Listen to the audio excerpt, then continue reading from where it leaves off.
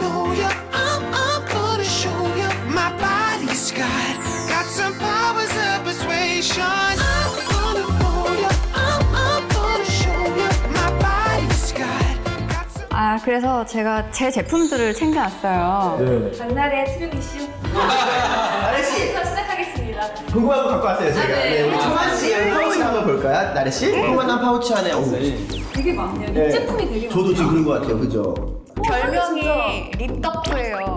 메이크업 아티스트들도 정말 립의 케어에 관련된 제품은 두 개, 세 개 넘기 어렵거든요. 어, 제가 쓰는 거랑 겹치는 것도 좀 있는 것안 같아요. 그래요? 어떤 게 겹쳐요, 일단? 저 일단 이 친구 처음에 네네네네. 때 어. 너무 많았어요. 네. 그러니까 립을 수시로 발라주는 편인데 부담스럽지 않아서 지금 많이 발랐던 것 같아요.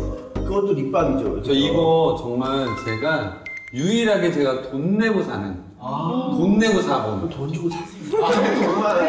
받는 거에 그렇게 익숙해져 있어, 보니까 지금 보니까. 우리는 아티스트들은 사실 그러니까. 우리도 협찬 인생이에요. 그런데 정말 떨어지면서 돈 내고 사고 가서 할 정도로 네. 굉장히 입술에 언니 격하게 공감을 하고 계세요. 그 제품이 그 뭐야 말하지 마세요. 립스틱을 바른 위에 발랐을 때 좀 글로시하게 만들 때 되게 좋아요. 맞아요. 컬러를 해치지 않고 이거는 어떤 용도예요? 이거?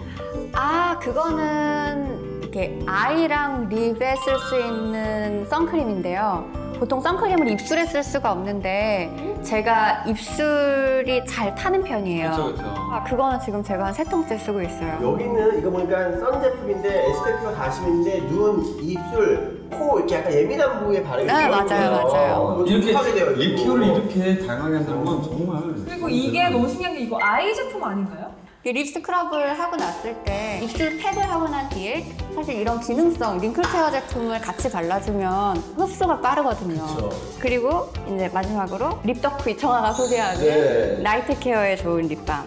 이거는 제가 뜯자마자 후회를 했죠.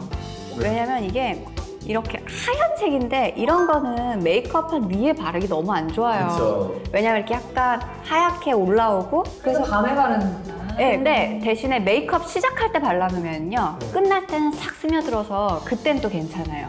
발라놓고 비- 피부 베이스 하다가 나중에 네, 나중에 이제 lip 제품 바를 때는 그때는 이제 입술도 좀 연하고 촉촉해지고 근데 대신에 이제 립스틱 위에 바르는 거는 저는 그거보다는 이제 night care나 이제 베이스에서 사용하시길 권해드리는 제품입니다. 우리 트루미 시청자 여러분들은 이제 화이트데이 전날 이걸 한번 이렇게 쫙 해주시면 좋을 것 같습니다. 그날만큼은 입술에도 좀 투자하세요. 자, 남친의 키스를 부르는 키스 성공률 100% 마르살라 메이크업. 정말 터마 씨가 직접 하시는 거예요? 제가 직접 합니다. 이게 입술 이 아래쪽을 늘려주면 지금 굉장히 도발적인 느낌이 날 정도로 굉장히 입술 매력이 있어요, 진짜. 나 잘한 것 같아.